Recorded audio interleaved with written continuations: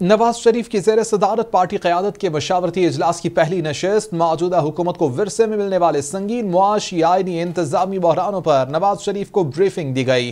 हुकूमती टीम ने मौजूदा मुआशी हक से नवाज़ शरीफ को आगाह किया। मरियम औरंगज़ेब कहती हैं कि आवाम को महँगाई के बोझ से बचाने के लिए पेट्रोल की कीमत में इजाफा नहीं किया है। तोानाई के शोबे में सबक हुकूमत के पैदा करदा संगीन बहरान की तफसीत पर ब्रीफिंग दी गई। मरियम औरंगज़ेब कहती हैं कि लोड शेडिंग, तेल और और एल एन जी न मंगवाने की तफसीत बयान की गई हैं। महँगाई लोड शेडिंग से निजात दिलाने और रिलीफ की फरहमी से मुतल मुख्तलिफ़ सिफारिशा पर गौर किया गया। इजलास ने हुकूमत आने के बाद से अब तक के इकदाम का तफसीली तौर पर जायजा लिया है। हुकूमती टीम ने मुआशी हक़ की रोशनी में मुस्तबिल के इकदाम के बारे में आरा दी हैं। मरियम औरंगज़ेब कहती हैं कि इजलास ने मुल्क की मजमू सियासी सूरत हाल पर भी तफसीली गौर वौस किया है। इजलास ने तीन अप्रैल से अब तक आइन शिकनी के इकदाम का जायजा भी लिया है।